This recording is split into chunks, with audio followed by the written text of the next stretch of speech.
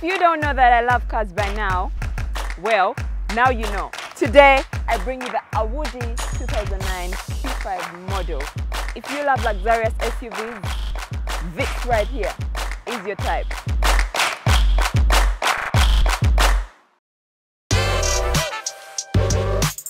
The Audi Q5 is a series of luxury crossover SUVs produced by a German manufacturer, Audi, from the year 2008. Kugabatandikazi manufacturing 2008. Bw'oyagalayo bweti nga ya myezi gye emabega teriiyo. What do I mean crossover SUVs? Gwatamanyi crossover what it means. Ze motoka z'olaba emabega nnene, bw'ogiraba emabega te bw'ogiraba mu sides ng'olaba nyimpi, so you're confused. You don't know whether to think if it's an SUV or a crossover. I'm going to give you an example of the Subaru Outback. Ezo muzirabira bitemanya eri awo eringa eri waggulu eri wansi. Yeah, so this too is a crossover SUV. The Q5 series, though considered an SUV, size zinenene zemumanyi oba I can give you an example nti wali obuto bw'emabega ate wotuuza mu guno omuto eri emabega mu busumulula family netulamu no for those of you that have big families mukwano ng'ogulayo kapaso family endala ng'egoberera Audi okuva emabega Audi Q5 well jokes aside anyway just like any other car Audi zirimu ebika. This specific Audi came after the Audi A4 and A5 and this one followed. Ziri mwe ziri mnamshua mziraba ziri ntono zo za wansi. They're not SUV crossovers like this. Yeah, then amafuta of course ngeda emotoka endala zijira mu bika- bika bisatu. Waliyo eza diesel, walieza eza petrol, walieza eza hybrid stroke electric.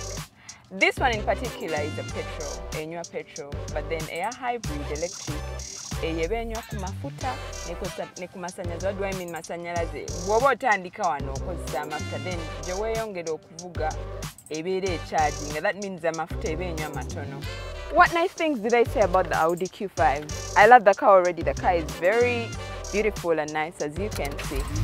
Well, this car has its acceleration is quite interesting. Of course, just like any other German car. Ogitulamu n'ogirinya n'ogenda.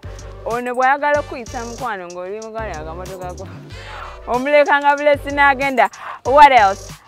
The beautiful cabin materials. Bw'oyingira munda, my God. Emito baagitunga, eh? I can't explain it to you. There's there's a way the steering wheel is. There's a way everything is set up inside, and then its gas consumption.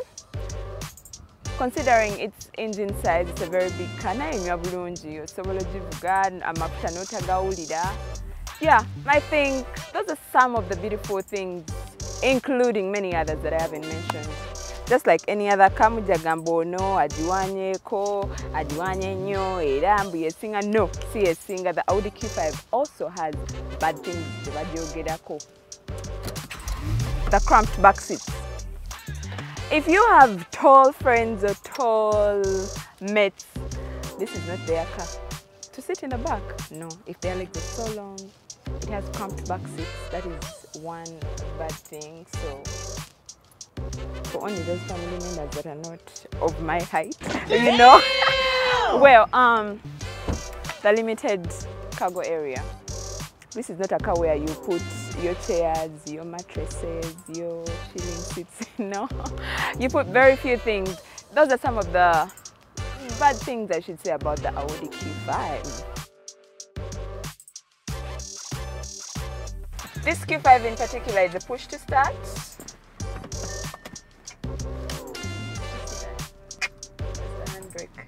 Let's go! The beauty is the moment you step on the gas, you get an immediate response. ekyo usually kiva ku engine ne transmission. Bwe biba bikwatagana you get a good response. And the q5 gives us just the perfect response. It has a capacity of going up to 280 kilometers per hour. Wow ati probox probox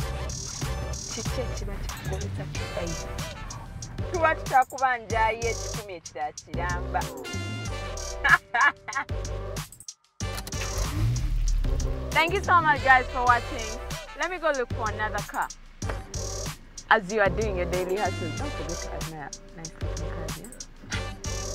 See you next time.